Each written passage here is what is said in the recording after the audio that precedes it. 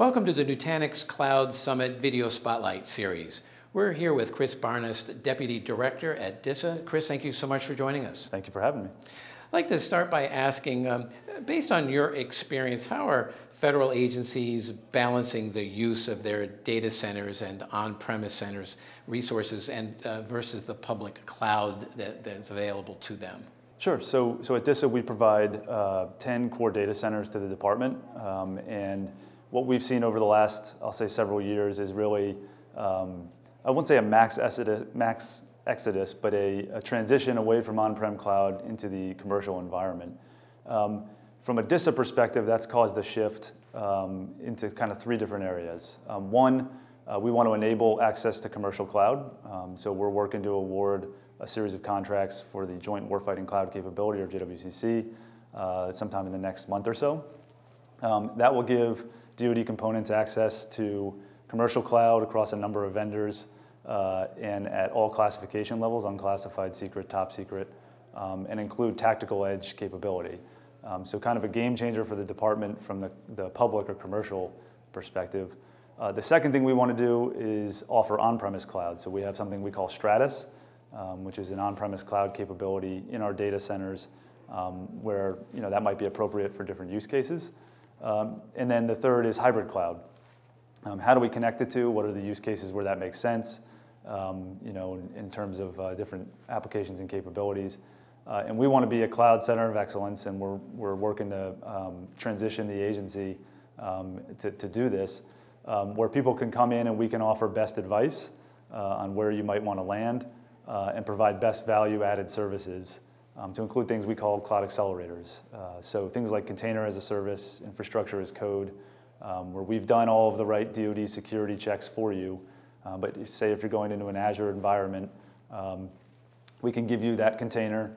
You can set up that environment in two to four hours instead of what normally would take uh, 40 plus days.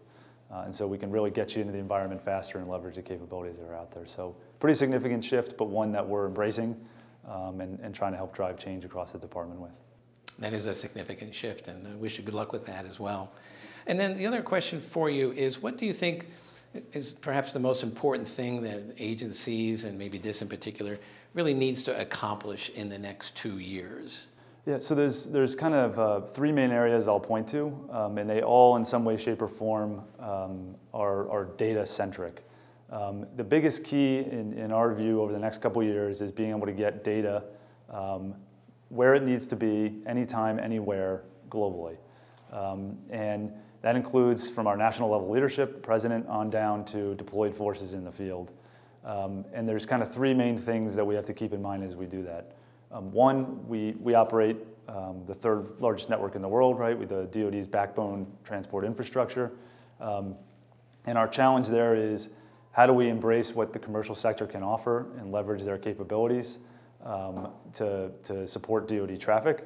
And how do we make sure that a user anywhere in the world, you know, whether we have a point of presence there today or not, has the ability to use any transport medium, MILSATCOM, COMSATCOM, um, you know, terrestrial fiber, Wi-Fi, commercial cell, whatever it might be, to access our infrastructure. Um, and so there's some initiatives that are pretty exciting underway in the agency to, to make sure that that's a capability that's out there in the next two years.